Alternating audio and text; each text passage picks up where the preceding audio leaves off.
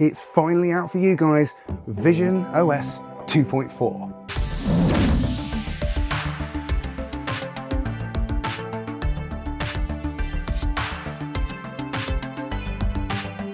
Welcome back to a vision experiment with me, Ty, talking everything Apple Vision Pro and spatial computing. And this is just a quick video just to let all of you guys out there know that Vision OS 2.4 has now had its full public release.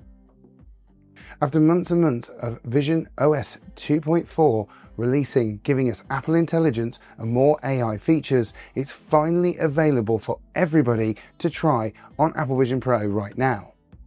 Now, if you haven't been watching my previous videos about what was going to be coming with the Beta 2.4 software, now that we're in full release, these are the things that you'll be able to get your hands on and play with on your Apple Vision Pro today. So you've got writing tools. This gives users a system-wide ability to be able to rewrite, proofread, and generate text using ChatGPT across mail, notes, and more.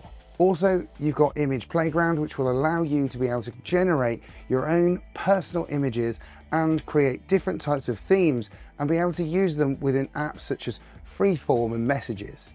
Apple Intelligence also brings Genmoji, where you've got the ability to create your own emojis in any way you would like using prompts and giving you the emoji that fits for any occasion and Smart Reply, which is a super quick and efficient way to reply back to those emails in an instant.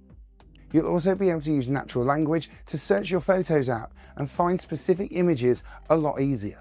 It also brings other features you've seen from Apple Intelligence, such as Priority Mail and many other features of Apple Intelligence. Some of the bigger things to come to Apple Vision Pro specifically is the introduction of Spatial Gallery, which is a curated gallery of spatial content, both photos and videos, curated by Apple themselves, giving you the ability to see things you would normally not have access to in 3D. We've also got the brand new guest mode that's come to Apple Vision Pro, which has allowed you as a Vision Pro user to share your device with others a lot quicker and easier. All you've got to do is place the Apple Vision Pro on someone's head and it will prompt them to start a guest mode action. You will then be able to allow it from your phone, giving them the opportunity to start their hand and eye calibration. It also allows an AirPlay cast so you can see what they're seeing and what's going on.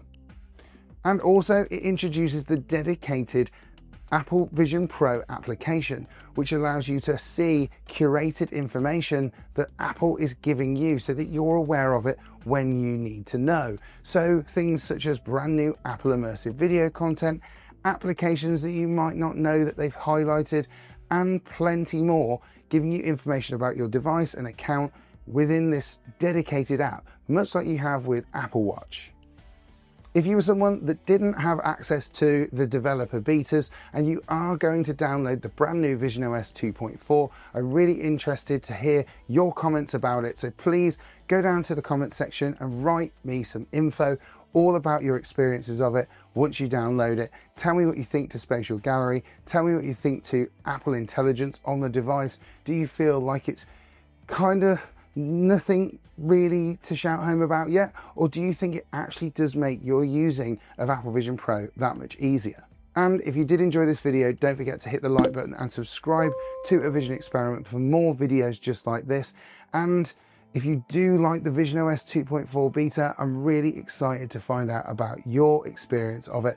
And I'll catch you for another video really soon.